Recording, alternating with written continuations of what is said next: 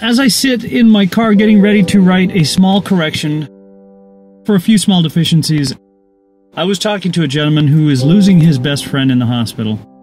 When I'm out filming and I say, I really am enjoying what I do, or every single day is amazing. And my sister says, Do you really? Do you really feel that way about your job? I love my job. I love everything about my life right now and where it has turned up.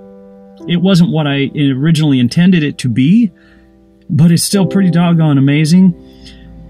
Uh, this past weekend, I was able to be in Palm Springs doing some videoing, which was a lot of fun. Uh, let me show you what I saw. It was absolutely amazing.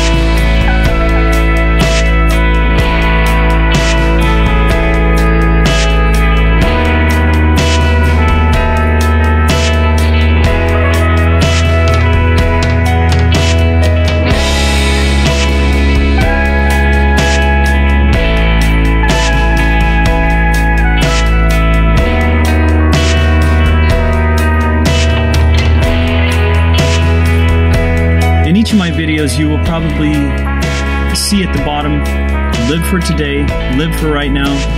You have to. You just don't know what's going to happen tomorrow. I'm very fortunate where I am and uh, just having a great time. Live it. Have fun, man. We'll see you guys. Come ride with me sometime. We'll see you. Bye.